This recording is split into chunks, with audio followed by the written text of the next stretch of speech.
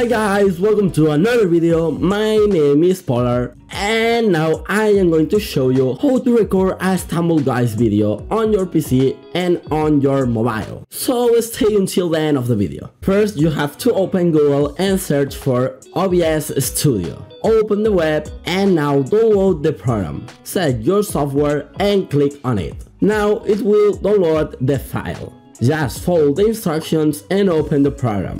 Perfect. Now go to settings, click on output and now click again and now click on recording. And in this section, recording path, click on browse. Here select the folder where you want the recorded videos to be saved. Perfect.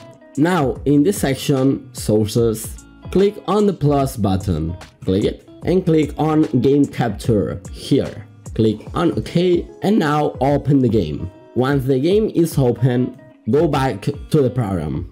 In mode, select capture a specific window. And in window, select Stumble Guys. Click it. Click on OK and wait a few seconds. And perfect! Now click on start recording and start recording.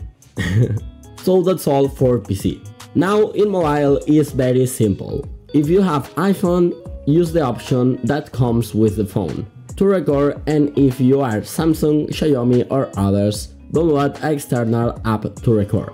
So that's all for today guys. I leave you on the left Stumble Guys video and on the right Stumble Guys playlist. My name is Polar. See you soon. Bye bye.